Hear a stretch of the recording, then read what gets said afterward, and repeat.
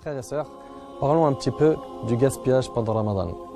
Pourquoi parler de ce sujet? Car comme vous le savez, Ramadan, lorsqu'il arrive, les gens quelques jours avant Ramadan sont dans les centres commerciaux, c'est leur droit. Ils remplissent les caddies, c'est leur droit. Mais le problème, c'est que beaucoup d'entre eux ont les yeux plus gros que le ventre. C'est-à-dire qu'ils vont acheter beaucoup, beaucoup plus que ce qu'ils consomment d'habitude. Alors que finalement, quand on regarde pendant Ramadan, on ne mange pas trois fois par jour, comme euh, en temps normal. On mange beaucoup moins et on se suffit de beaucoup moins. Mais les gens achètent beaucoup plus et euh, cuisinent encore beaucoup plus et jettent énormément de nourriture à la poubelle. Et ça, c'est blâmable. Et malheureusement, on va se concentrer sur euh, la lecture du Coran, d'aller dans la mosquée la plus proche pour faire tarawih, etc. Ou même des mosquées qui sont éloignées pour euh, prier la nuit. On va aussi faire du dhikr. On va essayer de jeûner de manière à ce que nos yeux jeûnent, nos oreilles jeûnent, euh, notre langue jeûne, etc. Tout ça, c'est très bien. Mais il y a un grand souci, c'est que le gaspillage, on dirait que c'est pas un péché.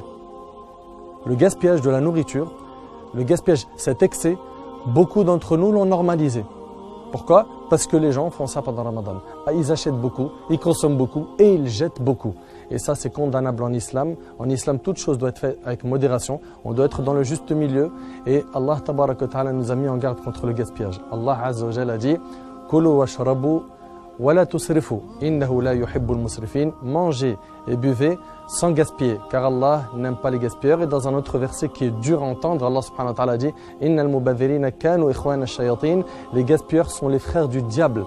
Et le prophète a dit Écoutez attentivement mangez et buvez et faites des aumônes tant que cela n'est pas accompagné d'un excès, écoutez bien, d'un excès ou de l'orgueil. Donc chacun d'entre nous doit se remettre en question. Et pour aller droit au but, comment faire pour être quelqu'un d'équilibré dans sa consommation pendant Ramadan? La première des choses, se rappeler que Ramadan, ce n'est pas le mois du ventre. C'est le mois de la taqwa. Allah subhanahu wa ta'ala a dit Ya amanu. Kama min. Ô vous qui avez cru, il vous a été prescrit le jeûne, comme il a été prescrit aux communautés qui vous ont précédé, afin que vous atteigniez la piété. L'objectif, c'est de purifier ton âme, ton cœur pendant Ramadan. Et pas que tu consommes, tu manges, tu te fais inviter, t'invites, et tu regardes la liste des invitations comme certains. Aujourd'hui, on est ici, demain, c'est un tel qui vient chez moi, etc. Je ne dis pas que les invitations ne sont pas permises en islam. Le problème, c'est qu'il y en a, ils ne se concentrent que sur la nourriture, et ça, c'est très, très, très, très grave. Donc mes frères ainsi que vous, mes sœurs, Ramadan, c'est pour purifier son âme. C'est pour apprendre à mieux se contrôler, à acquérir la patience et non à manger et à, gaspiller et à jeter à la poubelle comme on le voit. Donc la première des choses, redéfinition de l'objectif de Ramadan. Ramadan, c'est pour atteindre la taqwa et non pas pour manger. D'accord?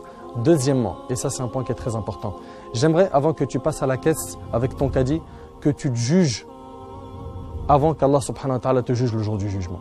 Tu seras jugé sur tout ce que tu as fait sur terre. Et quand tu passes euh, avec un caddie qui est tabarakallah inondé, plein, et des choses que vous allez finalement pas manger, d'accord Ou que vous allez jeter à la poubelle, ben, il faut que tu te remettes en question.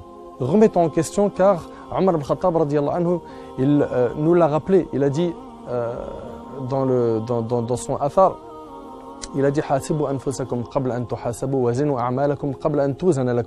Jugez-vous avant d'être jugé et pesez vos actions avant qu'elles vous soient pesées.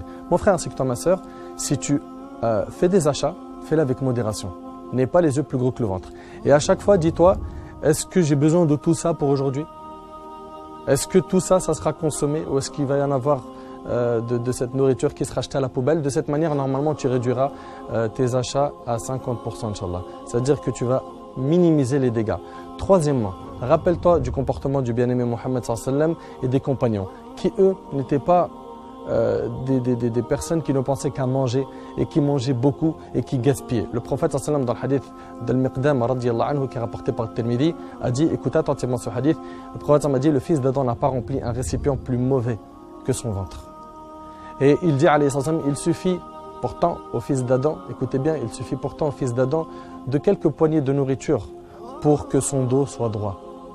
Et si cela ne lui suffit pas, alors un tiers pour la nourriture, un tiers pour la boisson et un tiers pour qu'il respire. Malheureusement, vous le savez mieux que moi, il y en a qui mangent tellement pendant Ramadan, au moment du coucher du soleil, au Maghreb, qu'ils n'arrivent même pas à prier le tarawih. Ils se sentent lourds. Et quand on est lourd physiquement, ben on est euh, pris par la paresse, la fainéantise, et à la fin c'est plus le sommeil qui nous attire que les adorations.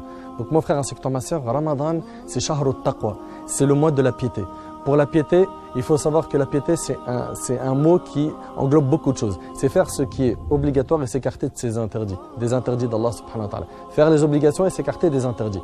Et le gaspillage fait partie des interdictions en islam. Surtout, subhanallah, réfléchis un petit peu mon frère, ma soeur. Toi qui jettes beaucoup de choses à la poubelle, Rappelle-toi que pendant que tu es en train de jeter des choses à la poubelle, de la nourriture, il y a des personnes qui ne trouvent ni de l'eau potable à boire, ni une poignée de pain à manger pendant Ramadan.